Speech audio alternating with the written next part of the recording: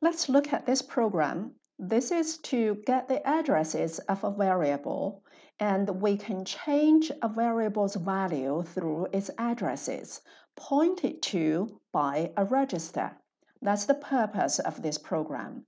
So the first line, um, before that, let's look at uh, in our lecture notes, I was telling you that you have two ways to do uh, the addresses. One is to use LEA, load effective address to get the address. One is to use offset to get the address. Okay, so let's look at these uh, code. Move CL, comma, 34H, this you understand. And the second uh, instruction is to um, get the address of var1 and place it into SI. If you remember, we uh, talked about you can only use four registers to store addresses BX, SI, DI, BP. Those are the four registers. So I'm using one of them, SI, to store the address of var1. That is using this uh, instruction LEA. The next one is to move, uh, this is the second way offset var2 will give you the address and we want to put that address into bx. So that's move bx comma offset var2. And the fourth instruction is to move the content in CL, which is 34H, into the address contained in BX. Okay, and what does BX contain? It contains the address of var2.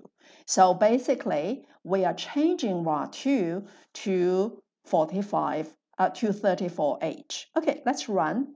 Uh, one, one more thing I want to explain. That is, uh, don't be confused about the addresses.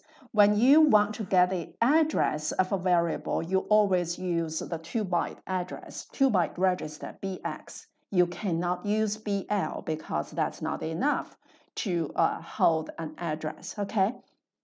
Here we are putting a one byte value into this address, so that's fine. Even though this is BX, this is BL, it's okay. Our variables are all contains one byte, but the address for that variable is still a two byte address. That's why when you talk about address, you always use BX instead of BL or BH. Okay, let's assemble.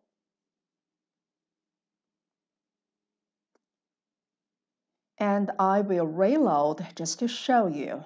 Okay, so let's look at the first instruction. Move 34 into CL, that's easy. 34 is in CL there, right? Okay, the second instruction is to move 0000A uh, which is the address for var1. If you look at this, this here, that's the address for var1. It contains 10, uh, 23. And 000B is the address for 45 for var2. Okay. Um, let me step back just to go back there. Okay, so let's do uh, that. And then we are moving A, H into SI and look at SI. SI contains that address there, right? Okay, now we want to move 000B into BX and 000B into BX. So BX now contains the address of var2. SI contains the address of var1. The next step is to put 34 into the address contained in BX, which is 0B, which is the address for var2. So let's do that. And I'm going to just close, uh, open this so that you can see the change. Right now, var2 has 45, right? And we are moving 34 into 00B, the address contained in BX, and it will change to 34. Now you see it's changed to 34, and here it's also changed to 34. So that's um, how this works. Okay, I'm going to close this, and, and I think you understand it now. Um, okay, so Uh, one more thing here, I commented this out. I want to show you.